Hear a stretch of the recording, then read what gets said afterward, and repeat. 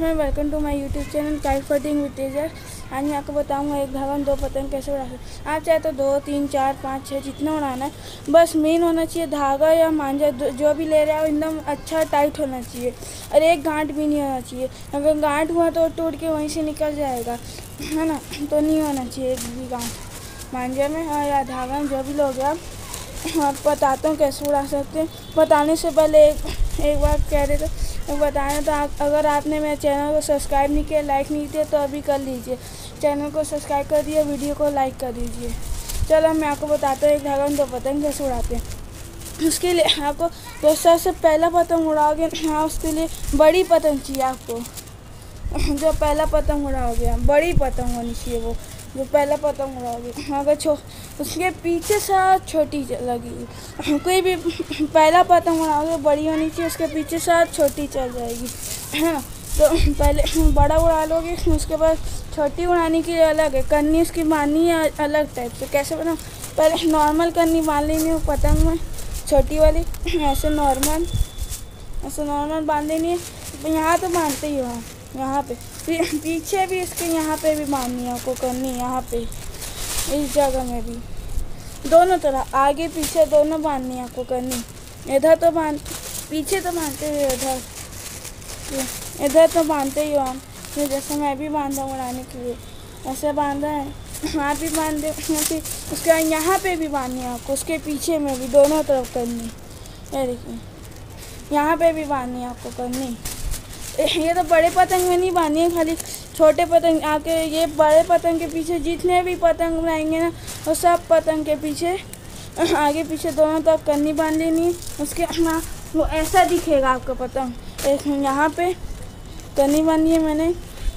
देखिए, एक इधर एक इधर। करनी बांधी आपको दिखाने के लिए मस्ता निकलाया तो पतंग तो आपको ऐसी करनी बांधी फिर उसको फिर क्या करना है?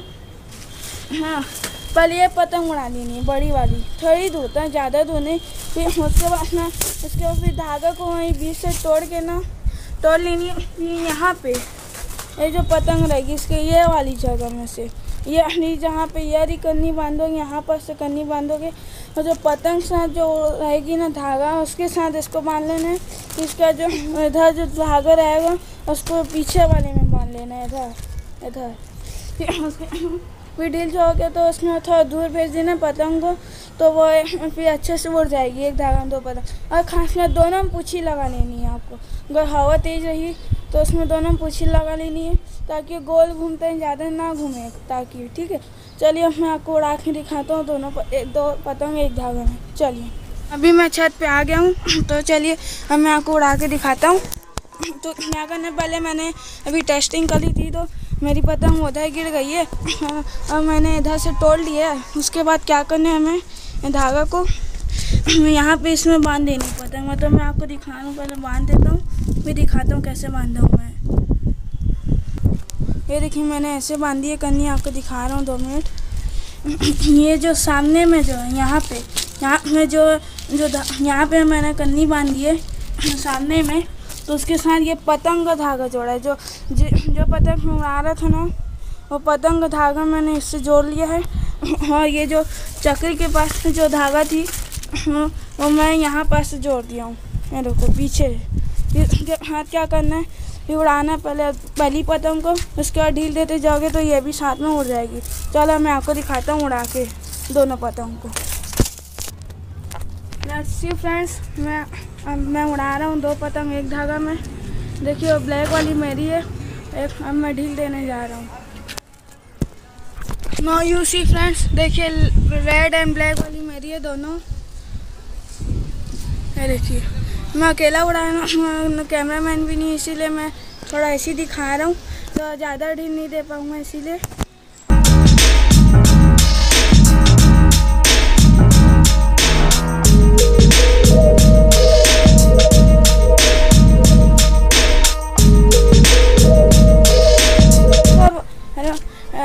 इसीलिए आज मैं अकेला उड़ा रहा था, इसीलिए मैं आपको ज़्यादा ढील नहीं दे पाया। ऐसे थोड़ा सा उड़ा के दिखा दिया आपको। तो sorry for thank you for watching my video and subscribe my channel and like my channel thank you